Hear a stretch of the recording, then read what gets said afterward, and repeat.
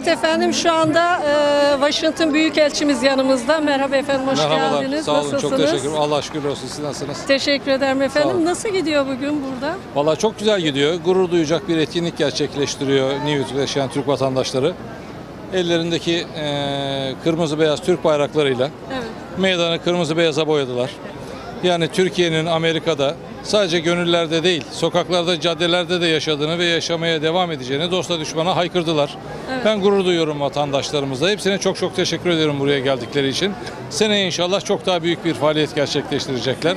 Bunun gerçekleştirmesine katkıda bulunan STK'larımıza çok teşekkür ediyorum. Brooklyn Belediye Başkanı'na çok teşekkür ediyorum.